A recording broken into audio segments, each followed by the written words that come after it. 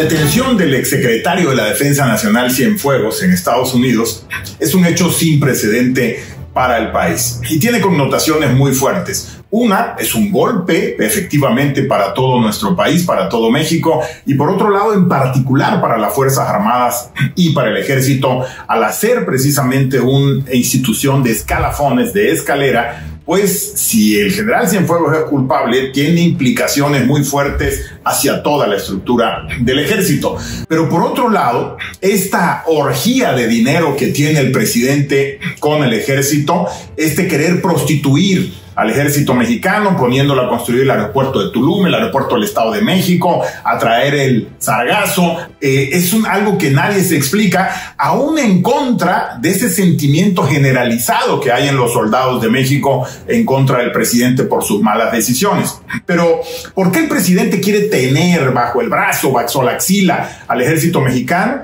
comiendo del dinero que le da?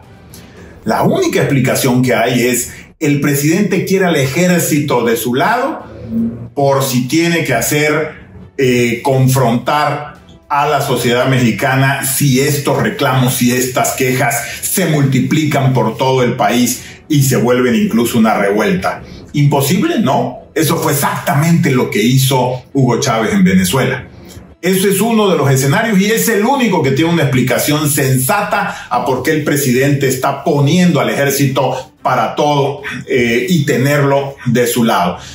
En ese sentido hay que pensarlo. Es un escenario muy delicado, es una situación muy delicada la del país y este es el momento de involucrarte.